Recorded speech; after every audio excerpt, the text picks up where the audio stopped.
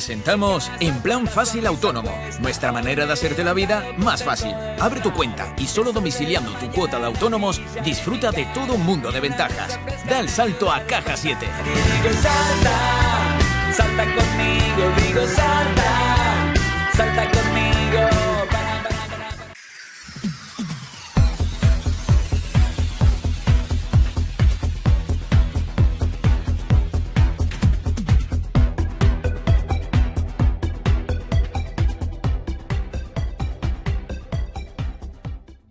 Bueno, eh, somos Banana Plantation. Banana Plantation es una finca que nace en una de las zonas más protegidas de las Islas Canarias, que es la zona del Rincón en el Valle de la Orotava.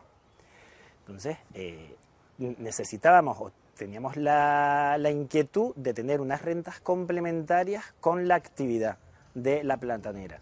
Entonces hemos decidido abrir la finca, la finca lleva abierta a los turistas 10 años y hacemos visitas guiadas, en donde explicamos el cultivo del plátano canario, explicamos la singularidad de la finca, al ser una finca ecológica, que hemos creado una, una diversidad tremenda dentro de la finca, y eso es lo que damos a conocer en la finca. Entonces la finca es visitable, las visitas duran una hora y explicamos un poco todo, desde el comienzo hasta su comercialización. Al final de la visita terminamos con una degustación de plátano y del licor de plátano. Bueno, pues hemos creado una biodiversidad que tiene muy pocas fincas en Canarias actualmente. Eh, tenemos muchas plantas aromáticas, tenemos un montón de insectos que hemos conseguido reproducir en la finca y que se queden a vivir allí porque todas las plagas las combatimos con insectos, no utilizamos ningún tipo de pesticida ni ningún tipo de químicos, el 95% de los productos que se utilizan en la finca los hago yo, con lo cual eh, eso está muy bien. Sembramos avena, sembramos cebada en los pasillos de la finca para ayudarnos a crear esa biodiversidad y romper con ese monocultivo eh, del plátano por así decirlo. Eh, tenemos calabazas y también tenemos colmenas dentro de la finca. La gente se siente muy sorprendida cuando viene a la finca porque nadie se lo espera. Nadie espera eh, que una finca de plátanos dé tanto de sí. Y la gente, mucha de la gente cuando termina la visita te dice, pues yo pensé que esto iba a ser un poquito un rollo, porque claro, fíjate tú, el cultivo del plátano, pero tú lo haces de manera amena, en esta finca hemos visto que se puede eh, llevar el producto del plátano en ecológico con ciertas consecuencias, como todo, evidentemente, o sea, todo el, todos los comienzos son complicados y difíciles, pero lo hemos conseguido, de hecho llevamos produciendo plátano ecológico 10 años. Mucho más que eso, ¿no? No, evidentemente. O sea, yo creo que soy una persona con bastantes inquietudes, que leo bastante, que me gusta experimentar, que innovo muchísimo en mi finca y claro, soy el propietario, me puedo permitir el lujo de innovar y de hacer experimentos. Nosotros, por ejemplo, en la finca, una de las cosas que hacemos desde un principio es reproducimos los microorganismos de la finca, con lo cual luego los incorporamos al terreno a través del riego pues bueno, yo creo que en eso hemos innovado hace muchísimos años y lo seguimos haciendo a día de hoy. Lo importante para ti son los suelos, ¿no? Para mí es fundamental. Sin suelo no tenemos nada y hay que tener un suelo rico para absolutamente todo. ¿Cómo hacéis eh, la multiplicación de esos microorganismos? Pues hacemos trampas de arroz, que guisamos un poco el arroz, lo enterramos en la tierra y a los 5 o 6 días lo sacamos. Y ahí nos da una muestra de cómo tenemos nuestro suelo y qué tipo de microbiología tenemos en ellos. Lo que nos interesa reproducir es los microorganismos buenos y no los malos.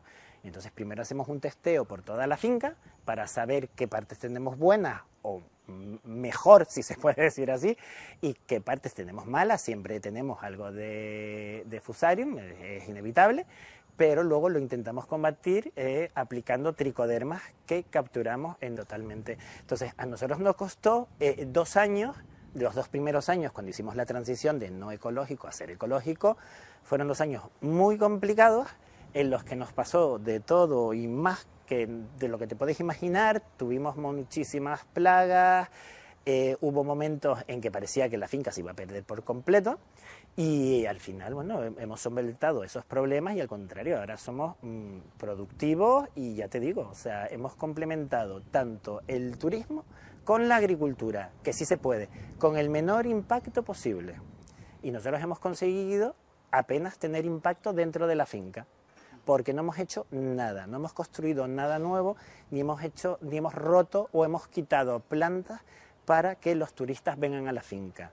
Nosotros lo que ofertamos a los turistas que nos vienen a ver es una finca de plátanos real, con sus partes buenas y con sus partes malas. Y el que viene a la finca lo ve claramente. Sí, totalmente. Nosotros una vez que empezamos a hacer las visitas, sí que es verdad que hemos tenido muy buena aceptación, cada vez tenemos más visitas, la gente acaba realmente encantada de hacer la visita y de conocer al final nuestro producto estrella, que no deja de ser el plátano, y efectivamente las, autoridades sí que se implican, pero a lo mejor no se implican todo lo que se tendrían que implicar. Bueno, nosotros tenemos un ahorro de agua de un 30%. Cuando Coplaca hizo los ensayos con los sensores en la Tierra, uno de esos ensayos, de los cinco que había, a nivel Canarias, estaba en la finca, en Banana Coplantation.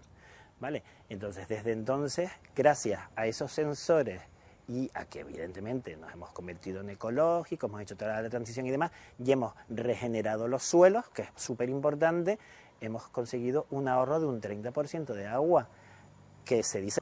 final.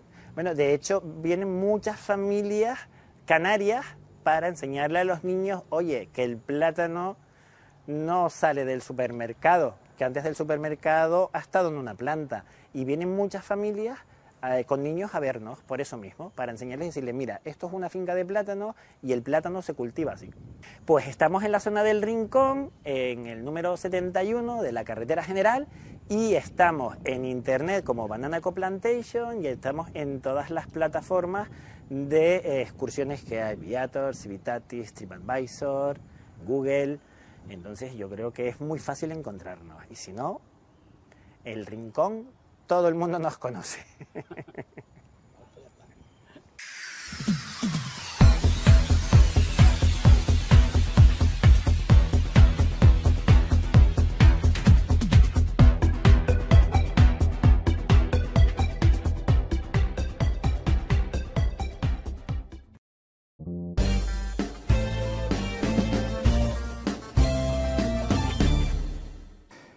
Comienzo esta etapa como director general de Agricultura del Gobierno de Canarios con muchísima ilusión, muy agradecido por la confianza que han depositado en mí y con una gran ilusión por pues, poderlo hacer bien para el sector. Próximamente nos reuniremos pues, con todos los subsectores, y ver las, las principales inquietudes y soluciones y problemáticas que aportan pues para eso, para intentarlo hacer bien dentro de mi dirección general, lo mejor posible. Sabéis que soy un apasionado del, sector, que el tema del volcán en La Palma va a ser prioritario en mi gestión, o intentar que sea prioritario, intentar, intentar dar la mejor solución posible pues, al problema que nos ha surgido con, con el volcán. Añadido ahora también el tema del incendio de Punta Gorda y Tijarafe, Ayer estuvimos en la comarca visitando a los alcaldes, con el presidente del Cabildo, el presidente del Gobierno, la consejera de, Presidencia y el consejero de Agricultura.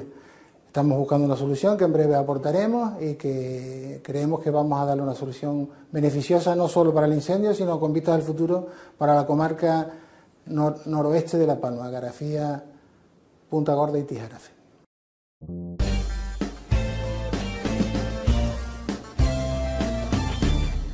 De los quesos de los concursos agrocanarias, en este caso los mejores quesos de, Canarias, 165 quesos de 56 queserías de todas las Islas Canarias que se han presentado al concurso y lo que hemos hecho es eh, decir cuáles son las distinciones de los mejores quesos de Canarias y el mejor queso de Canarias.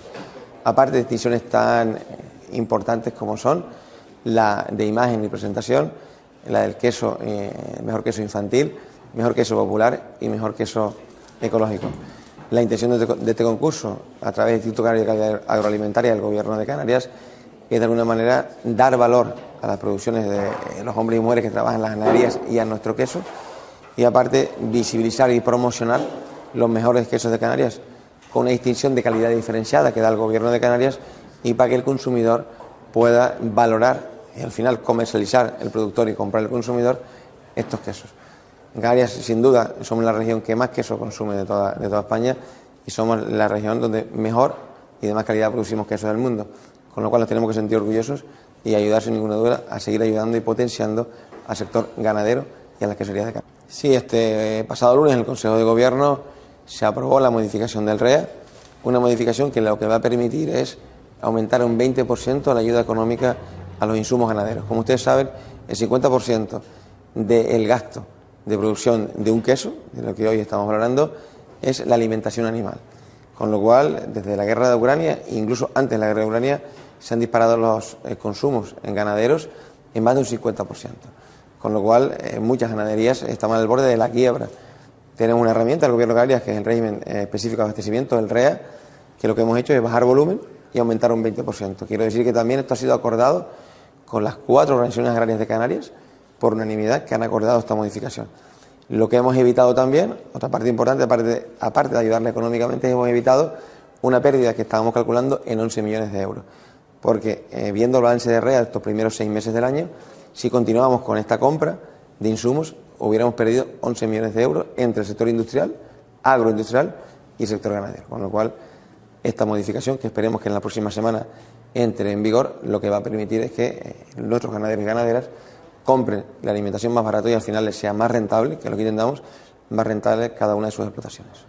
Estamos en Tijarafi en Punta Gorda, eh, viendo un poco la situación que dejó eh, el incendio, que afectó directamente al sector eh, primario, principalmente al sector agrario y a la viña, aunque también algunas, algunas ganaderías. Estuvimos visitando una bodega que desgraciadamente quedó completamente calcinada, en la cual aprovecho para decir que apoyando, comprando esas botellas solidarias que están que están vendiendo y que nos hemos comprometido, primero, una reacción inmediata de ayudar económicamente eh, a los afectados directamente para que mm, ilusionarlos y que no puedan perder toda la producción y que replanten al próximo año, pero después se habló de un modelo, de un modelo de estas zonas de medianías de Canarias, en este caso en La Palma, para hacer un cordón verde.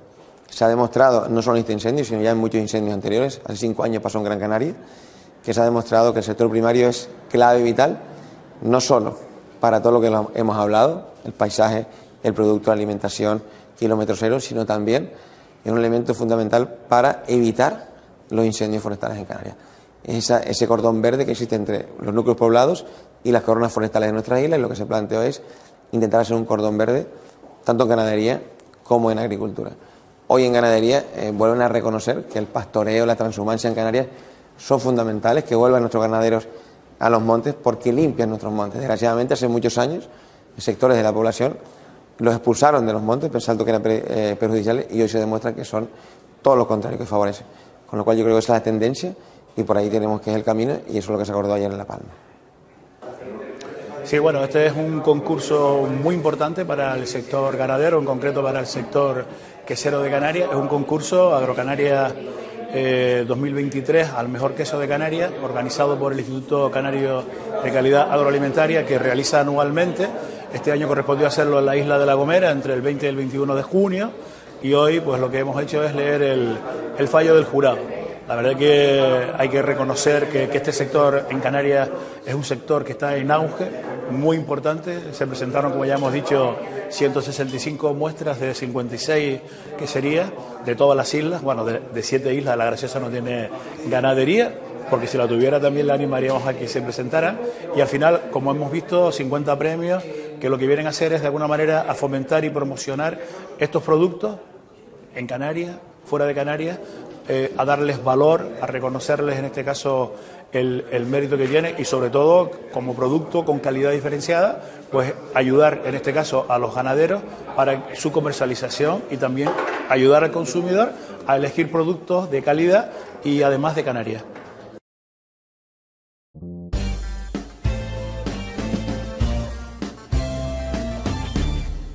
Que eh, los concursos son más, más, o menos estrictos todos los años, conservan las mismas líneas, la misma tipología, el mismo formato. es buscar una cantidad de catadores que sean capaces de dilucidar cuál es el mejor, cuál va a ser el mejor gofio de Canarias en base a su cualificación eh, profesional que tienen. Como saben, pues una de las novedades que estamos introduciendo no solo en este, sino en todos los concursos últimamente que estamos realizando, pues tenemos una representación de catadores de todas las islas, de todos los sectores. La verdad es que tenemos una riqueza bastante grande y una ecuanimidad y equilibrio bastante grande entre todos los sectores, desde ese perfil técnico, técnico puro y duro de expertos en cata, a ese perfil hasta llegar hasta los restauradores. Tenemos varios cocineros, gente de sala que está actuando, que ya se han convertido en, en expertos en cata del, del producto. Eh, novedades que también hemos introducido últimamente, pues lo que tenemos esta tarde, que es la cata infantil y la cata de, mayores, o sea, es unas actividades en las que ponemos en valor el producto a través de los niños y a través de nuestros mayores, que como a veces nos dicen, dicen, pero si nosotros lo conocemos más que ustedes, ¿qué nos van a enseñar? Y digo, no, no, no venimos a enseñarlo, venimos a aprender de ustedes y con los niños también venimos a aprender de, los niños. Entonces, los niños serán, digamos, los profesionales del, del futuro y entonces ir haciendo cosas con ellos yo creo que es muy, muy importante y la verdad es que mm, muy bonito y muy divertido. Trabajar con niños siempre es muy divertido y le vamos a hacer unas preparaciones, aparte de que les vamos a dar unas nociones de cata para que ellos caten unos cuantos gofios y se conviertan y den un premio, otorguen un premio al gofio que ellos consideren que es el mejor desde su punto de vista. La verdad que es un, es un placer para la Isla del Hierro que se celebre este concurso regional de, gofio en, nuestra isla, eh, de un producto tan eh, simbólico, tan histórico para, para todos los canarios y que se aglutinen en la isla del Hierro pues, pues este elenco de, catadores para degustar y poner en valor este, este producto canario, como decimos, eh, eh, base de, la alimentación de los antiguos pobladores de Canarias y de los bimbaches, pues es un placer, ¿no? Esperemos que, que estas jornadas, donde también van a participar pues colectivos de la isla, como son los, niños del Club Teseida, la Asociación de Amas de Casa de, del Valle del Golfo en la frontera, pues bueno, eso hace que se integre la sociedad de la isla, eh, como decimos, en enaltecer un producto como es el gofio, ¿no? Y desde el Cabildo del Hierro, pues es un placer eh, que el Gobierno de Canarias pues celebre estas jornadas en, nuestra isla. Bueno, pues nos encontramos en el, en el Hierro, en el concurso de Agrocanarias, en este caso de gofio donde tenemos 93 muestras de gofio de 18 molinos de todas las islas. Y bueno, entre las jornadas, estas dos jornadas de trabajo, que los catadores, 16 catadores que, profesionales que han venido de diferentes islas, a los que quiero agradecer eh, su colaboración desinteresada en los concursos de Agrocanarias, en este caso en el de gofio, donde se van a elegir, por este caso, los mejores gofios de Canarias en diferentes categorías y también eh, dos distinciones, una popular y otra infantil que son también muy importantes. Uno, la infantil, porque son los prescriptores del futuro para que consuman producto local, producto canario y un producto tan canario como es el gofio. Y otra, en la cata popular también, donde la gente que no es tan profesional, que no sabe catar, se les enseña cómo se catan los gofios y también es muy positiva. Con lo cual lo que queremos con estos concursos es, primero, dar visibilidad al producto canario, darle importancia y que la gente se conciencie de consumir producto canario, no solo estamos consumiendo un producto de enorme calidad, yo diría la mejor calidad, sino estamos consumiendo un producto de kilómetro cero. Estamos consumiendo productos que elaboran y que trabajan hombres y mujeres que son vecinos de nuestro pueblo. Con lo cual generamos economía, generamos riqueza y mantenemos a las personas en nuestro mundo rural. Y también mantenemos el paisaje de Canarias tan importante para nuestras islas. Con lo cual, estos concursos son verdaderamente importantes, no solo por el hecho del concurso, sino por la relevancia que pueden tener el futuro para la hora de eh, promocionar el producto entre los canarios y las Canarias y los turistas que nos visitan.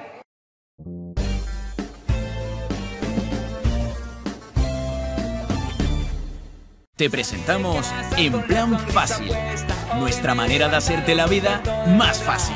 Abre tu cuenta y disfruta de todo un mundo de ventajas. Da el salto a Caja 7. Salta, salta conmigo, digo salta, salta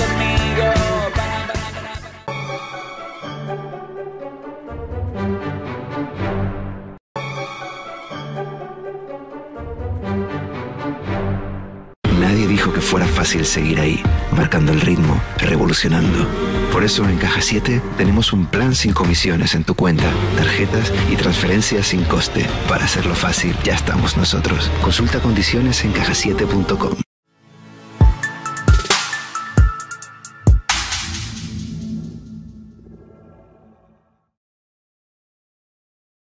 Bueno, la niebla es una nube baja, una nube eh, que toca el suelo, para que nos podamos entender.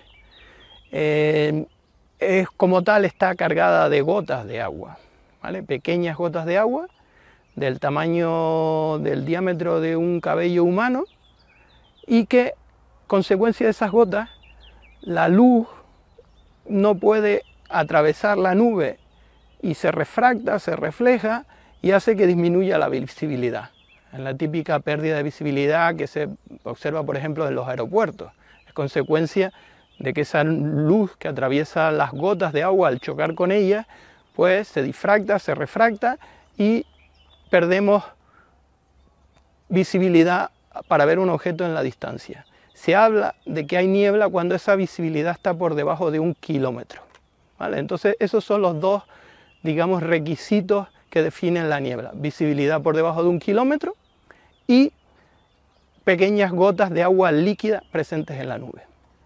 Estamos hablando de que si lo asemejamos a una esfera, esas pequeñas gotas, estamos hablando de unas pequeñas pocas micras. Estamos hablando de que la niebla se sitúa en, el orden de entre las 5 y 10 micras hasta las 50 micras. Por encima de ahí ya hablamos de llovizna o de lluvia o de otro tipo de fenómeno meteorológico.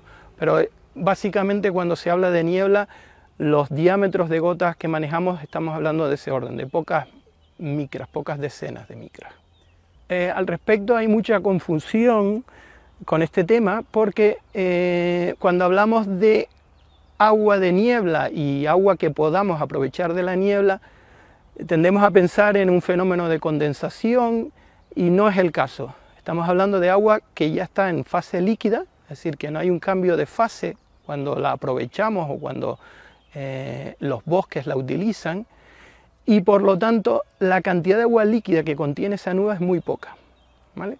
Estamos hablando del orden de entre 0.1 y 1 gramo por metro cúbico. Para que nos podamos entender o para que la podamos visualizar, una piscina olímpica, si la suelo utilizar este ejemplo, si colocáramos una nube de ese tamaño, podríamos obtener del orden de un litro de agua de esa nube del tamaño de una piscina olímpica, es decir, por lo tanto, muy poca agua.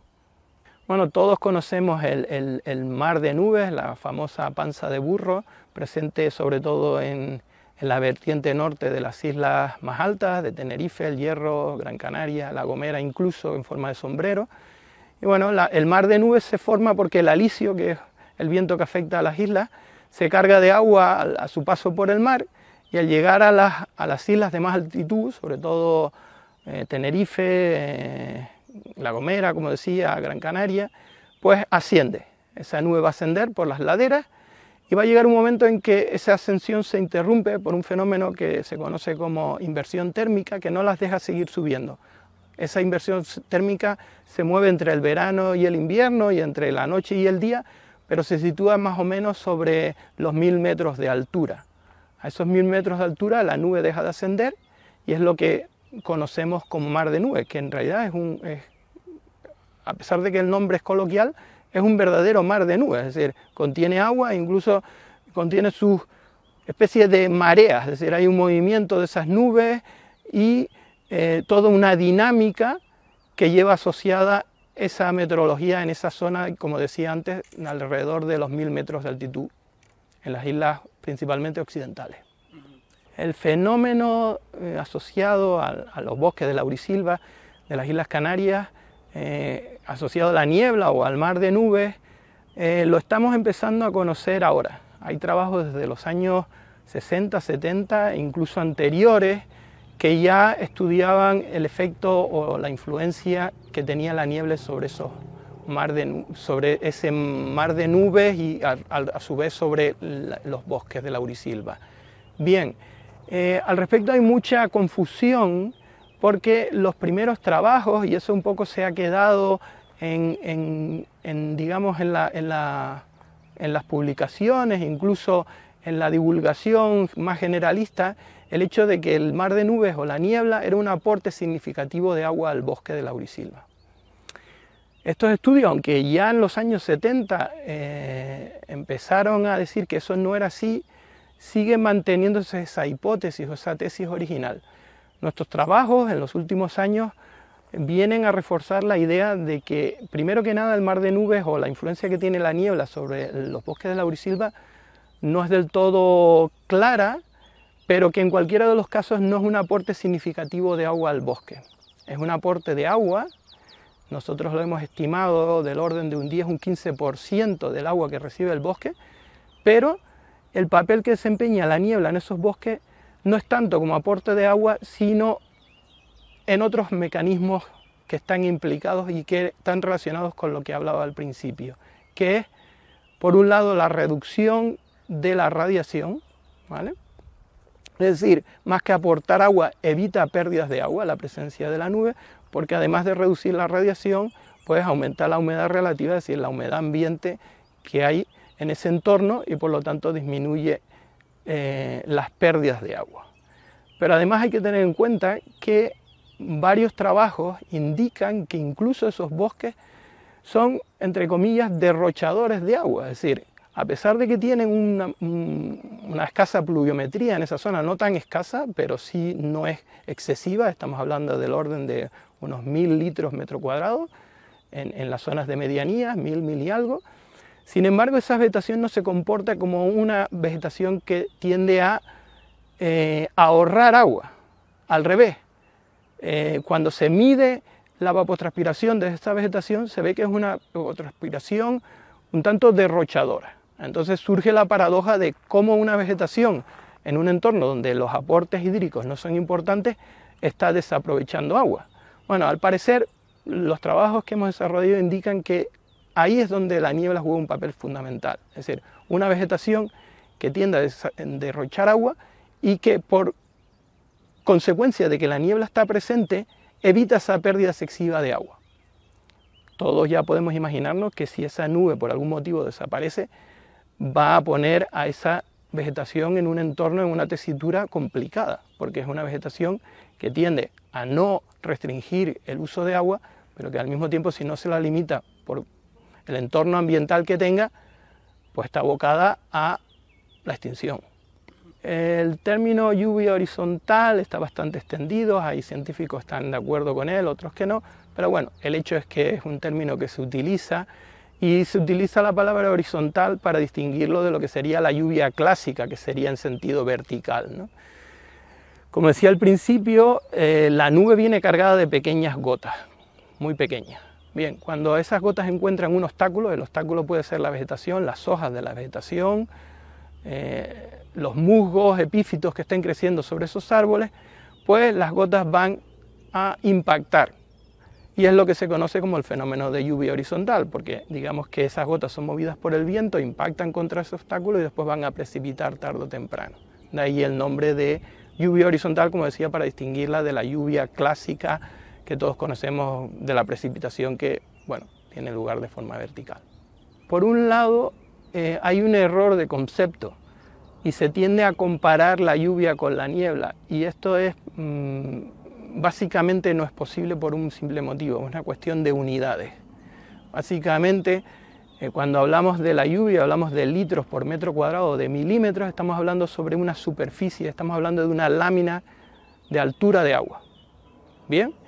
Vale, cuando hablamos de niebla, de lluvia vertical, de, sobre una superficie, perdón, que está en sentido vertical, esos litros metro cuadrado se refieren a la superficie expuesta en posición vertical.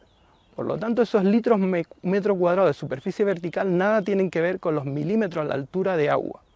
¿vale? Entonces, cuando tendemos a comparar lluvia con niebla, estamos un poco comparando manzanas con peras. Pero además, no solo eso, la niebla es un fenómeno bastante mm, local, depende mucho de las condiciones específicas concretas de una zona. Y puede variar en cuestión de pocos metros de altura, Tú puedes estar recogiendo agua de niebla a mil metros y a 900 no recoger absolutamente nada, o en una zona expuesta, o en una ladera, o ese ejemplo de La Palma donde, donde se produce un efecto Fogen que, que pasa de un lado a otro de la nube. Entonces, todos esos fenómenos que podrían explicar unas condiciones particulares de que pues, en un entorno la precipitación esa horizontal sea importante, después no se pueden extrapolar al resto. Entonces hay que tener mucho cuidado a la hora de extrapolar pequeños números a grandes números.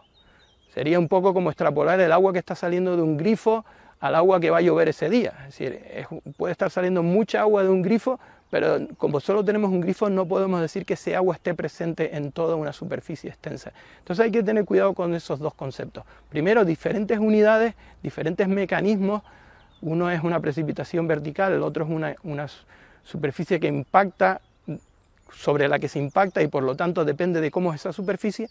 Y por otro lado, pues bueno, que es un fenómeno muy local. La lluvia normalmente afecta a grandes áreas, a grandes superficies, mientras que la niebla depende de condiciones muy concretas.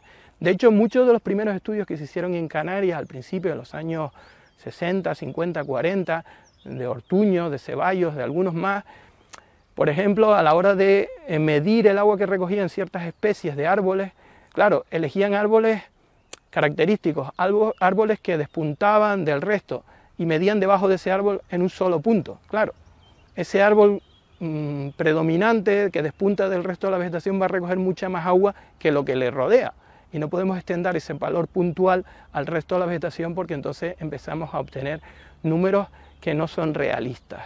Eh, como decía, cuando esas cosas se hacen bien y no es fácil hacerlas bien, eh, las estimaciones que nosotros tenemos, por ejemplo, en el Parque Nacional de Garajonay, que es un parque afectado por la niebla de forma significativa, en ciertas zonas estábamos hablando de eso, de que el aporte del agua de niebla podría ser al bosque del orden de un 10%. ¿Qué pasa? Que la niebla, como decía antes, un efecto protector de reducir la transpiración, entonces a lo mejor la ganancia de agua es de un 10%, pero la ganancia o la disminución por menores pérdidas de agua es mucho mayor que esa ganancia. Entonces, lo tenemos que ver más que como un saldo a nuestro favor, es como que tenemos menos gastos. Bueno, ya hemos hablado de la laurisilva, ¿no? De la laurisilva aprovecha en cierta medida eh, ese agua de, distintas formas, pero bueno, los humanos tendemos a copiar a la naturaleza y eh, la niebla se puede aprovechar de forma artificial. Normalmente esto se hace o se venía haciendo, se viene haciendo desde hace muchos años, en los años 50, 60 incluso, en Chile, que es un entorno desértico también afectado por niebla, de de ahí, el nombre de captadores de niebla chilenos, porque procedían de ahí. Hubo muchos trabajos en aquella época de eh, aprovechamiento de agua de niebla. ¿vale? Normalmente el sistema es bastante mm, básico, bastante rústico, pero consiste en algún tipo de estructura que mantiene una malla, normalmente una malla eh, sobre la que va a impactar el agua de niebla, consecuencia del viento. Entonces estos son los dos requisitos que necesitamos básicamente, los puedo ir adelantando ya.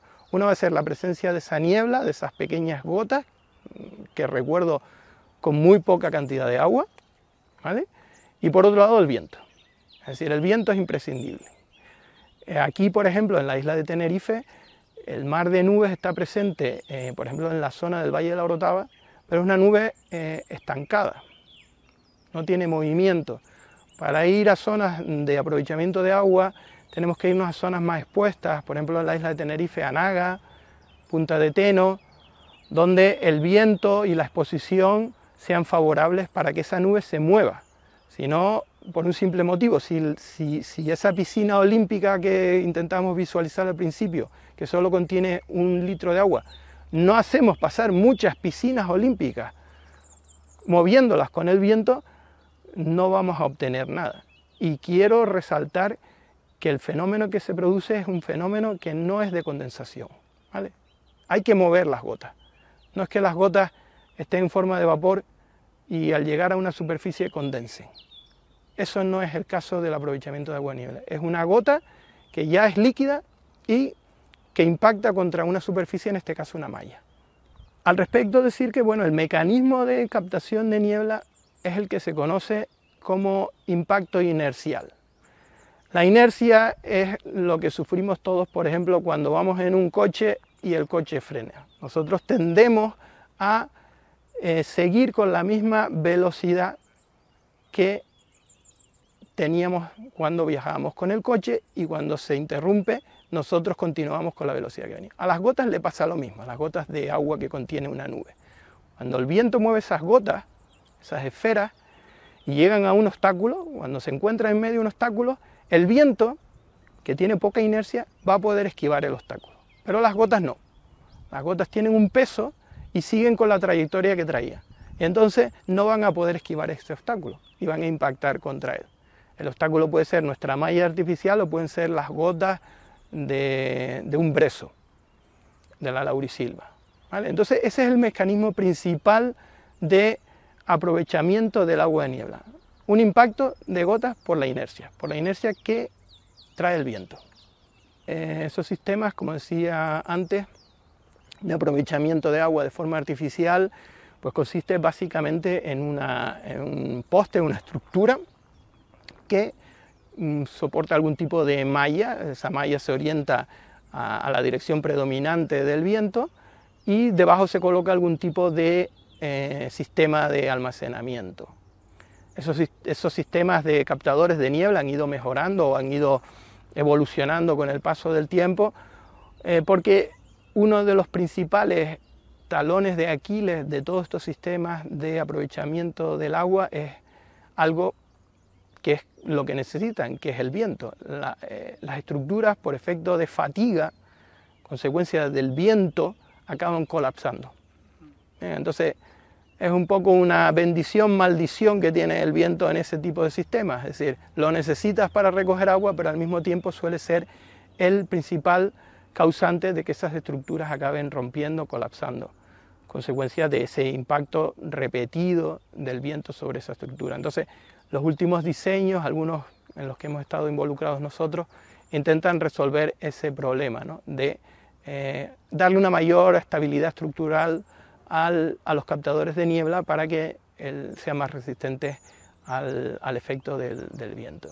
Por lo tanto, si el cambio climático va a traer incrementos de temperatura generalizados y en Canarias parece que eso es lo que indican casi todos los parámetros y casi todos los modelos, esto quiere decir que el mar de nubes puede acabar viéndose disminuida su incidencia, su frecuencia, su espesor o incluso acabar desplazándose. Cuando las condiciones varían en un entorno, en un ecosistema, las especies de ese entorno tienden a moverse. El problema en Canarias es que ese desplazamiento en latitudes es imposible, tendríamos que desplazarnos en altitud, y por lo tanto en altitud lo tenemos complicado porque si las especies tuvieran por algún motivo que el mar de nubes se desplace hacia abajo, desplazarse hacia abajo, estamos hablando de una presión demográfica importante en la zona de medianía, más abajo hay suelo ya ocupado, agrícola, etcétera, que es difícil que una, un ecosistema de ese tipo se instale ahí y hacia arriba tenemos otros, otros ecosistemas mucho más resistentes a la sequía, al pinar, eh, la vegetación de alta montaña. Entonces, no quiero sonar catastrofista, pero la laurisilva puede verse mm, gravemente afectada. No quiere decir que vaya a desaparecer, pero sí a lo mejor algunas especies de laurisilva más resistentes a la sequía acaben sustituyendo a otras que necesiten más humedad. Se puede producir un fenómeno complejo porque además recordemos que al principio decía que esta es una vegetación derrochadora, entre comillas, de agua.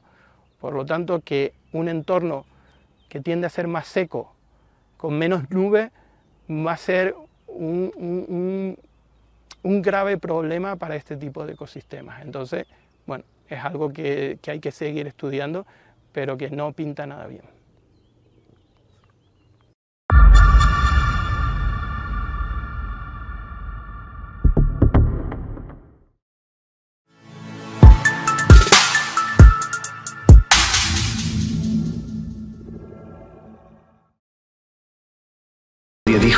Fácil poner lo mejor de nuestra tierra en tu mesa.